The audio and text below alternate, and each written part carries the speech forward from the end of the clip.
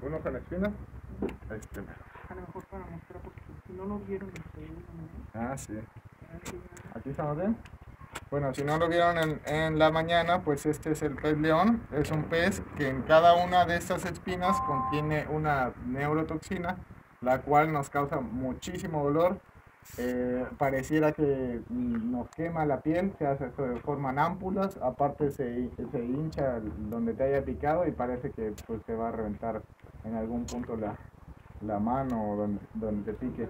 Son 18 espinas que se deben de tratar con mucho cuidado, eh, pero la ventaja es que a las 2 horas o 3 horas más o menos ya se descompone y pues no hay, no hay peligro para nosotros. Solamente pues un gran dolor como cualquier pez cuando nos, nos pica después de muerto.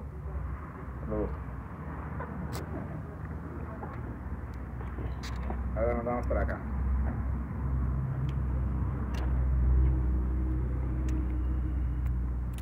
Eh, lo que vamos a hacer es sacar los lomitos de los peces.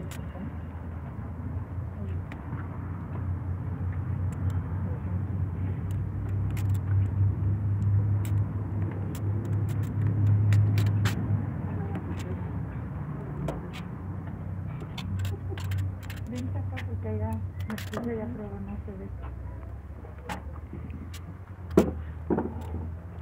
Es muy importante, les decía hace rato, tener un cuchillo con filo. Si no tienes un cuchillo con filo, probablemente se te resbale y puedas causarte un accidente.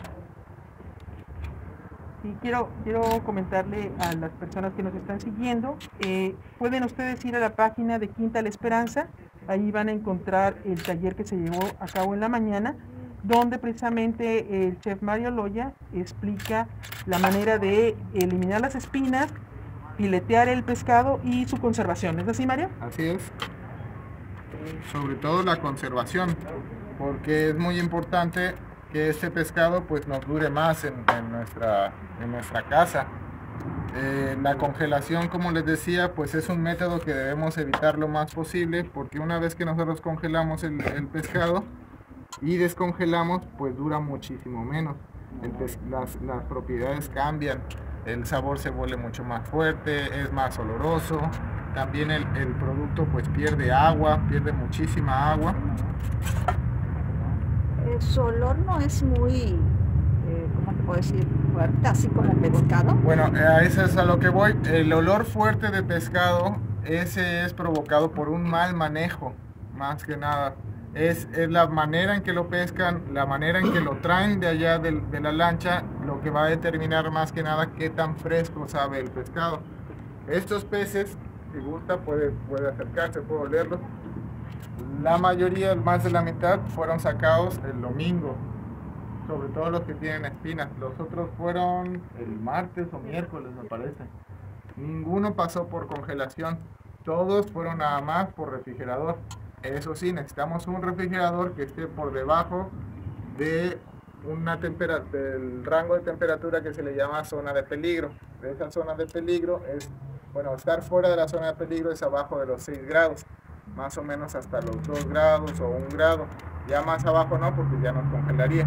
Entonces, si tenemos nuestros refrigeradores, digamos, por ahí de entre los 2 y 4 grados, nos ayuda muchísimo a que nuestro pez dure más. Y cualquier carne también puede, puede ser. Y eso ayuda a que no sea tan penetrante el olor a... Así es, una vez que usted lo congela, si se fija cuando descongela el pez, el pez pierde agua, el pez huele fuerte también, los ceviches no saben muy bien, es masudo, entonces no queremos perder esas propiedades. Lo que yo recomiendo es siempre refrigeración.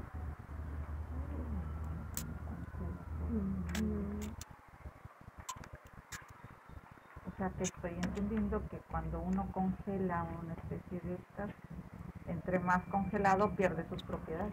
Y todos, Totalmente. todos los, todos los animales. ¿Qué, ¿Por qué pasa eso? Porque nosotros estamos hechos, pues muchos organismos pues, estamos hechos alrededor de un 80, 90% de agua, son nuestros organismos. esa agua que está dentro de nosotros, una vez que se congela, se vuelven cristales de hielo. Esos cristales rompen todos los tejidos y a la hora que descongelamos, pues el agua va a salir de ahí. Entonces, eso hace que se mermen muchas de las propiedades que nosotros buscamos en los alimentos para que sean gustosos.